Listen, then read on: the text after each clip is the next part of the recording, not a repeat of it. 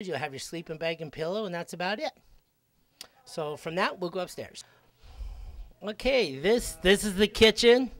This is where this is where many happy stomachs are made.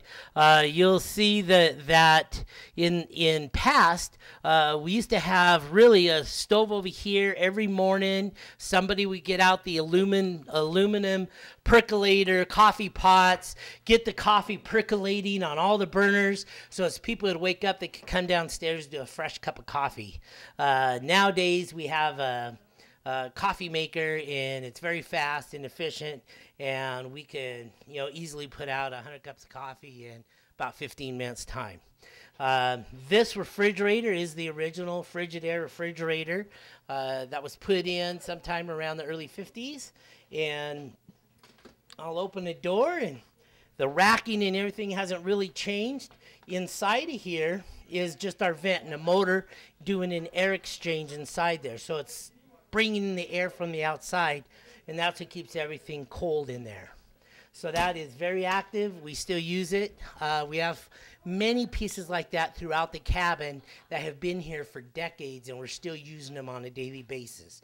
We've upgraded our stoves. We have nice dry storage, so folks can come in and put their dry goods in certain pla- uh, in certain areas, closets for towels, etc.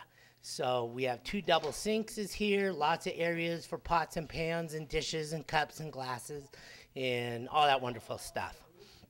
And you can see that the cabin, even after lunch hour, people still gather around and socialize and just really have a good time talking about their day and what they're going to do and solving all the world's problems, as we like to say. So from here, the last piece of the cabin is the dormitories. So this area here is the dormitories. They're actually split, women's and men's. When you arrive at the cabin, you would go upstairs, put your name on a bunk. They're all numbered. Lay out your sleeping bag. And on the men's side is exactly the same. so these bunks were actually uh, brought up, constructed. The mattresses were actually got from the Navy Department in, I want to say, sometime in the 50s, and they've recently been remade, uh, although we do have some original mattresses still around here, so that weren't used very much. At any rate, that's our dorms here.